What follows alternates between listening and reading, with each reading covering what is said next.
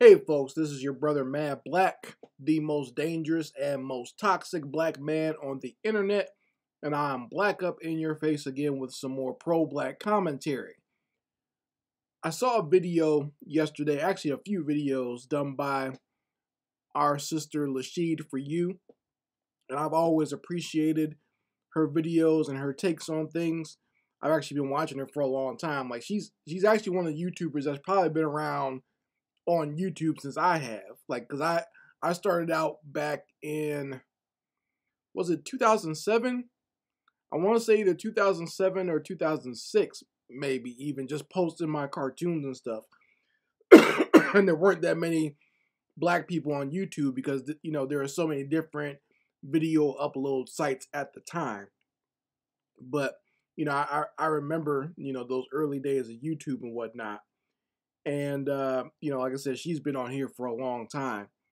And she made some videos very recently where she's just been talking about, you know, the the recent grouping of of women that make these videos online that are very anti-black woman. You know what I mean? Like it's you know, you'll see a lot of these females, whether they be black, white, or whatever, they'll be making these anti-black woman videos where they'll just do videos where they're talking bad about black women.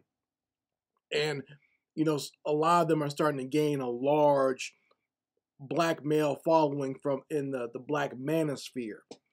And I, have noticed the uptick in this as well, just just just literally within the last few years, like since the pandemic, of a lot of females now jumping on and giving out a lot of manosphere talking points and they're even starting to use the same language and a, a lot of them are, are, are phonies or they're agents sent from somewhere because it is it's too ridiculous for it to be legitimate. You know at, at the very least i'll say or, or at the most innocent i will say a lot of them are just opportunists who are out here trying to make money.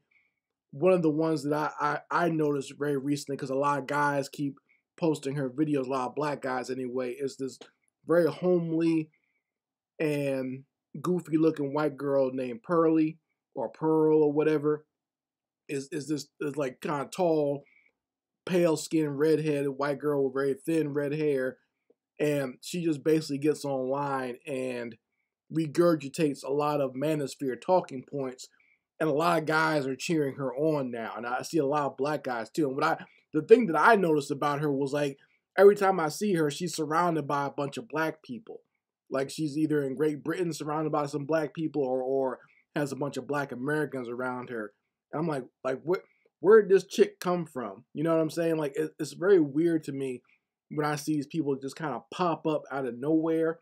And and and what's funny is, you know, they the, the name of her her channel is called the Just Pearly channel the the just part is actually supposed to be a black female. There's a black female that pals around with her.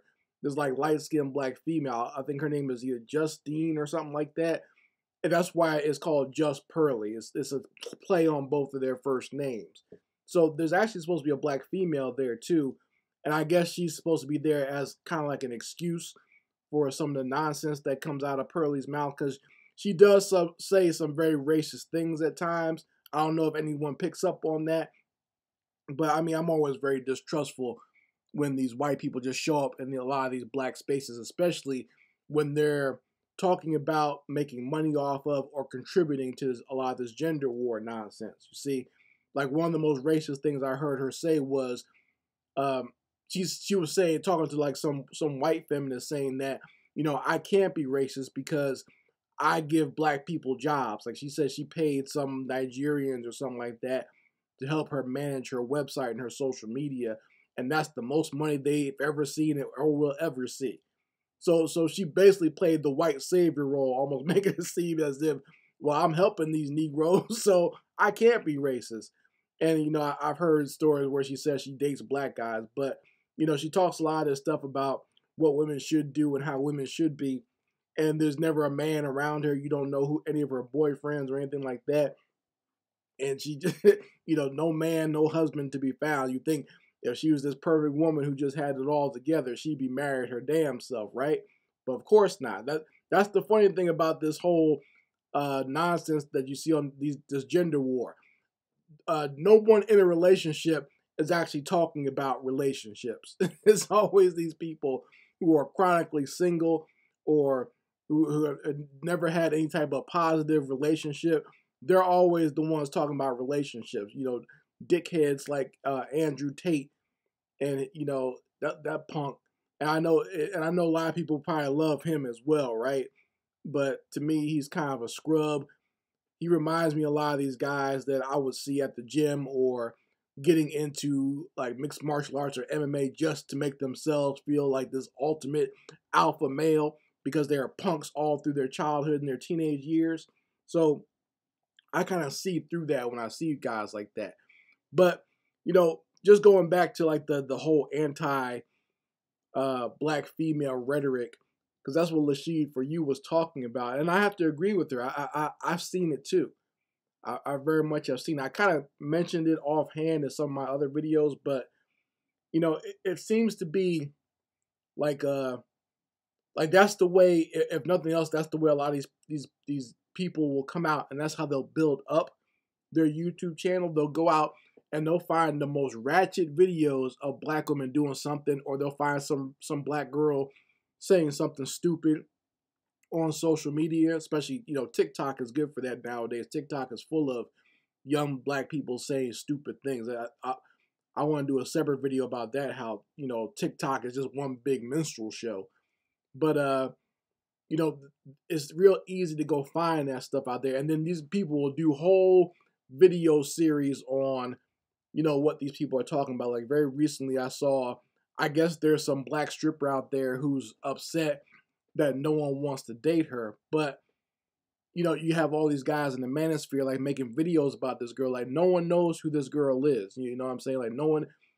no one would even know she's a stripper, but like you guys are promoting her video and using it as an example, I guess, of entitled women or entitled black women or whatever, right? So it's almost kind of like, but you know, no one would even know who this person was if you weren't promoting it. it it's it, it's almost like like there there's almost like a weird relationship between them. Like they they're basically saying how much they don't like black women, but a lot of these people are making livings off of the quote unquote dysfunction of black women. You see what I'm saying? So they'll find the most dysfunctional out there and put them on the forefront and then they'll talk bad about them and make it seem like that's how all black women are. You see what I'm saying? And sad to say, there's a lot of black women who have jumped on that bandwagon as well. And, you know, like uh Lashid for you was talking about uh what's her name? The the Crimson Cure, the, the Muslim lady. I think her name is Kendra. And at least she claims to be a Muslim. I'm not sure if she actually is one or not. Because,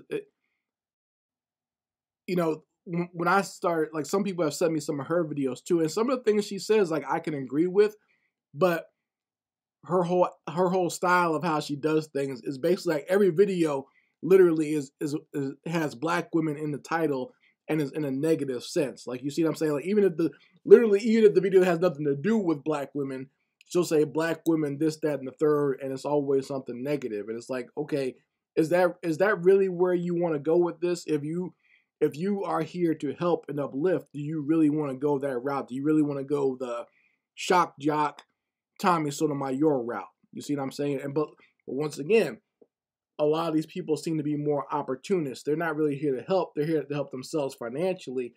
And the quickest way to do that is to do these negative videos about black women. You see what I'm saying? It's not it's, it's almost gotten to be like almost a parody of itself because so many people do it. Like I I've thought about doing like a little cartoon short, like a uh, infomercial of how to do a fuck boy channel. just basically, you get a channel and you just talk bad about black women, uh, twenty four seven, and you and you just watch your your user your uh, your views and your subscribers go up as time goes on, right? Because that's all you have to do. Like I could do that if I just decide to do a video two times a day talking bad about black women or finding ratchet black women videos, I wouldn't I wouldn't get banned. Because someone asked me the other day, like, why don't you have more views? I'm uh, Because I, I don't do that type of content. You see what I'm saying? So if I if I did a, a, negative black woman video twice a day, once in the morning, once in the afternoon, uh, all I would start getting mad subscribers just from that. You see what I'm saying? I, I, I know the formula because I've seen it so many times. Just do a negative black woman video twice a day.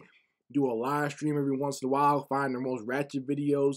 It wouldn't matter if I'm showing black women fighting, black women getting killed, uh, a black woman doing something sexual to children. My videos would never get taken down. I would never get banned. In fact, like I said, YouTube will push my channel in the algorithm and I'll be the most popular YouTuber within two to three months. Okay, it'd be very easy for me to do that. And just, I just say how much I don't like black women or whatever, right? So, it, it, like I said, it's just gotten ridiculous. And, and I know there'll be some out there who will say, well, they, they hate on black men. Yes, there's a lot of black male hate out there as well. I'm just talking about one facet of this gender war bullshit that a lot of people put out there to profit off of. And it's, it's sad because it's so much less, there's less real people on YouTube talking about anything realistic. Now, I've actually compiled uh, like a database of actual real black couples. I'm going to do a video about that next week, and I'll put that up next week for you guys to go see. That way you can see that there are real black couples on YouTube who are normal people and not a lot of this gender war nonsense in case you want to have an escape from that. But we'll talk more about that next week. But I mean, let me know what you think about this video in the comments section and let me know if you noticed the same thing with a lot of these these weirdos out here because I and, I have to say, I, I, I get kind of disappointed in a lot of my people out there, especially a lot of my black males, because it's real easy to deceive y'all. All you gotta do is basically regurgitate some manosphere talking points, and you guys will prop that person up as the next guru. To where even now, like I said, this this uh this homely white girl Pearly is put up on a pedestal. You see what I'm saying? She's I mean she's already white, so uh, all she has to do is just uh, it doesn't matter what she looks like. She could be ugly as hell. But now all she has to do is regurgitate some manosphere trash, and she's your guru. If it's not her, it's Andrew Tate. If it's not her, it's not him. It's uh, Jordan Peterson. You know, it doesn't matter as long as they regurgitate some nonsense. You guys will put them up on a pedestal. Anyway, you guys let me know how you feel about it in the comments section. Once again, Madd Blak, and I will be back with my foot on these devils' back.